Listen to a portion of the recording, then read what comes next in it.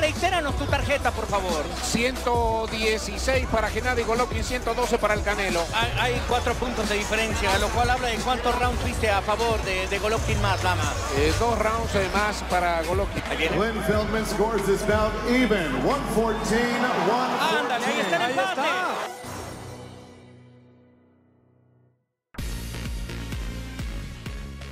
Amigos de Boxtime, se acaba de confirmar que el kazajo Gennady Golovkin y sus promotores buscarán la trilogía con el Canelo Álvarez para el 2022. Esto lo comenta Tom Lofer, el promotor. Todavía le trae ganas el kazajo al Canelo.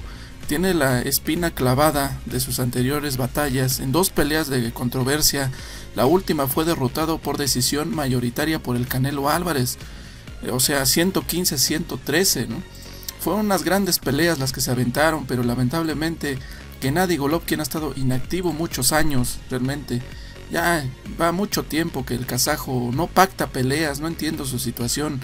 Eh, es, raro porque es un peleador que ya es veterano, es un gran peleador, ¿eh? pero realmente ya se tardó bastante. Lleva prácticamente otro año sin pelear. Peleó contra Camil Ceremeta en diciembre de 2020. Se va a aventar 2021 completamente sin pelear y parece que no avanza con Ryota Murata la negociación para diciembre. Acaba de comentar el promotor de, de Gennady que todavía están en pláticas con Ryota Murata. O sea, no es posible esto, ¿no? No sé qué le pasa, no sé qué está pensando Golovkin. O quiere al Canelo directo, sería una locura, ¿eh? O sea, aparte de que está viejo ya, ya tiene 38 años, tiene 39 años, ¿eh? Cumplió en abril y luego tiene inactividad, pues más le va a pegar. O sea, no puede ser. Tiene que pelear sí o sí, ¿eh? en diciembre. Tiene que hacerlo. Si quiere al Canelo en, 2022, que lo puede lograr. ¿eh? Es un gran peleador todavía y tiene la controversia de sus dos peleas anteriores. Tiene que pelear en diciembre para quitarse el óxido, ¿no? Porque la inactividad a los peleadores les cae muy mal, y más a la edad de Gennady Golovkin. Esto es lo que dijo Tom Lofer acerca de las intenciones del kazajo de enfrentar al Canelo y finalmente pues derrotarlo, ¿no?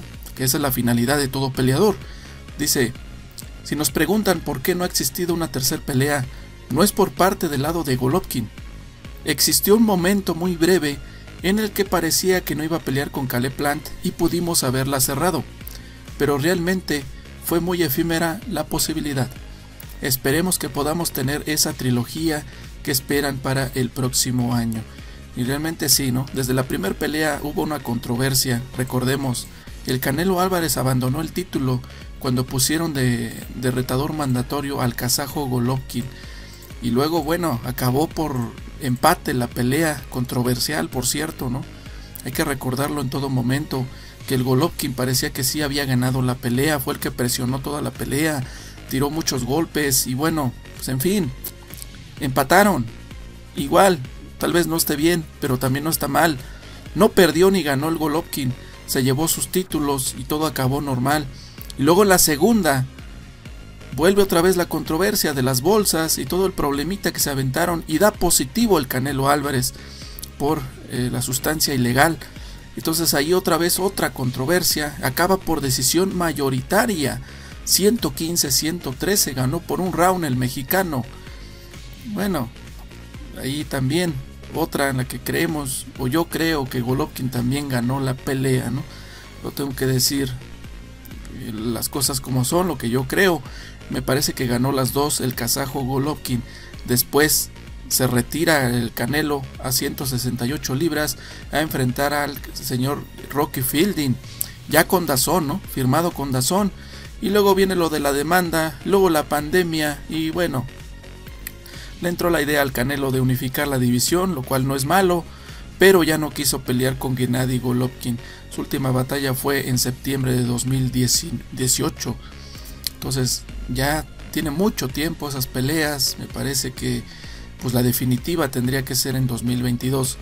Dice así, fue muy difícil hacer esas dos peleas con Canelo. Si recuerdan, él todavía tiene el récord de ser el único campeón mexicano en dejar vacante un cinturón del CMB.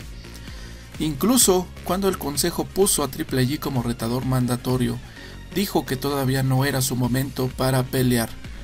Recordó Tom Lofer, lo que acabo de comentar. O sea, Lamentable la situación en la que se vio envuelto el mexicano, la que pues quiso hacer tiempo, ¿no? Un poquito más para enfrentar al kazajo. Cuando ya no era retador mandatorio, eso lo hizo todavía más difícil. Pero al final encontramos la manera porque HBO sabía que la ganancia de un pago por evento con Canelo y Golovkin iba a ser enorme. Supuestamente debía pelear con Canelo cuando estaban con Dazón, pero eso no ocurrió en septiembre del 2019. Pasó el tiempo y aceptó otras peleas. Ahora si regresa en diciembre sería una buena pelea para poder anunciar después. Dice, está aquí en Los Ángeles y está viendo la posibilidad de volver rumbo a finales del año. Nada está cerrado todavía. Cada vez que él sube a pelear, sabemos que hay una gran emoción y nos sentimos felices de finalmente reducir esa espera. Lo que acabo de decir, todavía no pacta con Ryota Murata. Tiene que ser la pelea en Japón, ¿eh? no en Estados Unidos, porque Ryota Murata es una estrella, lo siguen mucho en Japón. O sea, el negocio, ¿no? El negocio va a pagar bien en Japón y no en Estados Unidos. Entonces, pues bueno, la realidad es que no sé qué está pasando con Golovkin, muchos años de inactividad, con 39 años de edad, piensa en que puede enfrentar al Canelo a los 40 años, ¿eh? Los cumple en abril. Y ellos pelearían en mayo, ¿eh? Si es que pelean en 2022 ya tendría 40 años que nadie Golovkin. Bueno, la verdad es que el boxeo es realmente muy extraño, ¿no? Ya vimos a Pacquiao realmente aventarse unas guerrotas con Juan Manuel Márquez de 42 años, ¿eh? Nadie te puede asegurar que Golovkin dé el viejazo en la siguiente pelea. O a lo mejor lo da y lo destruyen, como se ha estado comentando, ¿no? Que el Canelo pues está en su mejor momento, y que el, Golovkin pues tiene inactividad y está viejo, pero vuelvo a comentar, pues nadie te puede asegurar eso. A lo mejor es increíble que este peleador sea el único, el único, ¿eh? Que le ha podido dar una gran pelea al Canelo, dos peleas completamente cerradas en las que se vio que pues, pues que él había ganado, ¿no? Lo voy a decir claramente, yo creo que sí ganó las dos peleas. Y ahora la tercera tendría que ser la definitiva, me parece, ¿no? que tendría que acabar alguien por nocaut al otro. Eso es lo que yo creo. Entonces vamos a ver qué pasa. Es una pelea bien peligrosa para el kazajo. ¿eh? Realmente es un gran peleador, pero la edad no perdona. La edad le, le cayó a Pacquiao hace poco. Lo vimos, ya no es el mismo. Claro, estamos hablando de 42 años y Golovkin son 40, ¿no? Es un poco menos, pero de todos modos va contra el Canelo, el mejor en este momento. Entonces sería una pelea realmente complicada.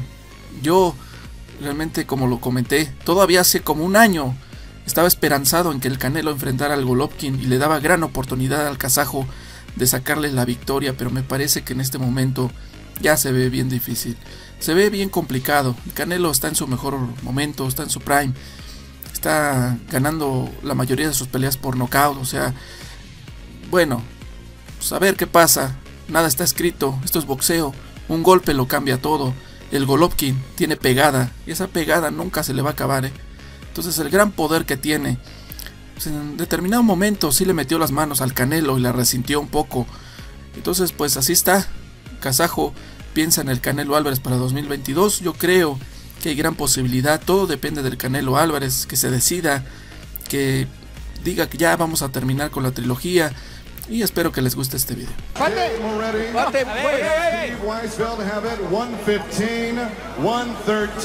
115, 113.